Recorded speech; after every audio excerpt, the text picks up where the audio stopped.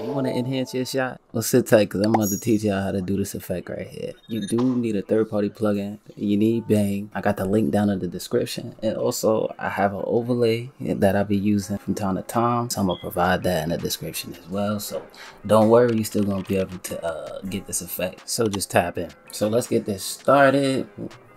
Once you know where you want to shoot, just go to Layer, New, add an adjustment layer. Once you have the adjustment layer, just crop it down just a little bit. And I want you to add bang. Once you add the effect, just change the place and aim from 2D to 3D. Then I want you to play with the sweep and the tilt intensity until you get the tip of the muzzle shot facing the camera. Now I want you to grab the target from the 3D position and just place it right in front of the artist's hand. So now we can scroll down and start to play with these panels.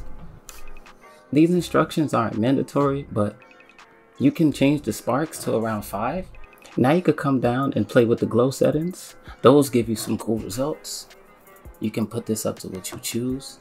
You can up the size, the fall off, come down to the interactive light and just change the light map to the footage.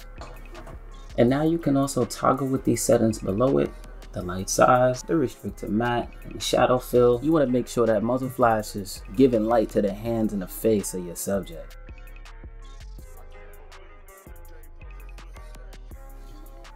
And now let's come up to the keyframer. Let's change that 6 to 1 because we're doing a pistol. Now let's come down to the flash shape. This is low-key tough. You can just grab the points on the graph. You could play with those or you could even use one of the presets that they provide. You choose. Now I'm gonna add a couple of flash petals. Once I choose a couple of these flash petals, I'm gonna come down to the petal shape profile I'm gonna fix that up. I'm gonna make it look a little smaller because you know it's, it's not like we're shooting a lot of shots at one time. So let's yeah, let's make a small little star. Now I'm gonna come down to the flash properties and change the flash color. I wanna go for something a little more orange. Now you can come down to the flash age, make a keyframe, then you could come to the beginning of your adjustment layer and just change that value to zero. Now I want you to scroll up to the trigger, make a keyframe, and then I want you to take that same keyframe and just have it hover over the flash age. And make sure you save your work because I just crashed. But now we're gonna make a depth map to kind of give us a cooler result when it comes to our flash. So it's not flashing up the entire screen. So I want you to add an adjustment layer and then I want you to duplicate your footage and just trim it down to the size of the shot. You know, in anything in life, if you want it, you could get it. You just gotta find a way. But we're gonna use depth scanner or quick depth, whichever one you have to make this depth map. Now I want you to add a Gaussian blur to get rid of the sharp edges. Now I want you to grab Sapphire's brightness effect. Now hit the ink drop tool and choose like a little of that orange whitish area and use the and use the depth map layer, which is the one we just made as the mask.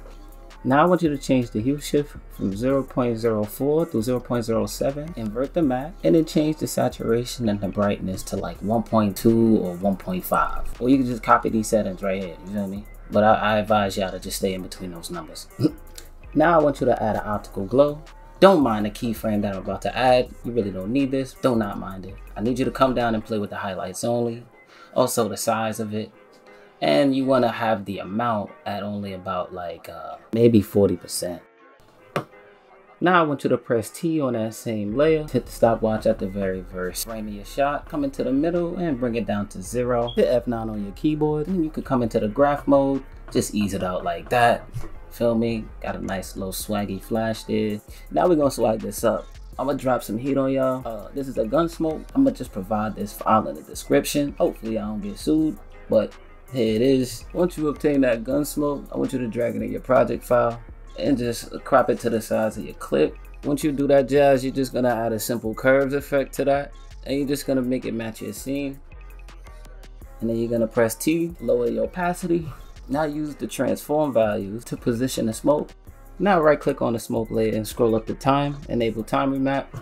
Now make a new keyframe and increase the values. So now you got a little bit of smoke there, but it's not lingering for too long. Then you want to hit P on your keyboard and let's just hit the stopwatch and position this smoke every couple frames. And now I'm going to add a shake. But before I add that shake, I'm just going to jump into all of my layers and I'm going to fix a couple of my uh, keyframes, fix a couple of my values, just so I'm getting this to look exactly how I want it to look As you can see, I jumped into the bang and I dealt with some of the scaling and shit like that.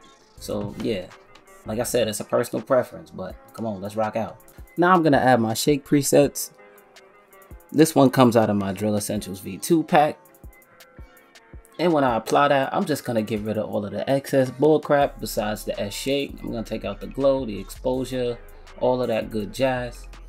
And then I'm gonna lower the value on the altitude and I'm gonna call this a day.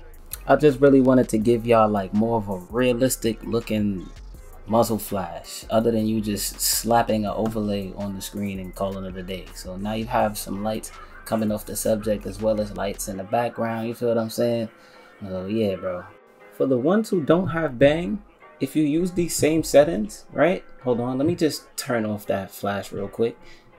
If you bring your own muzzle flash in here and you just track the position, right? And you have it in between these same exact layers in the same order, you should be good. It's gonna give you the same result.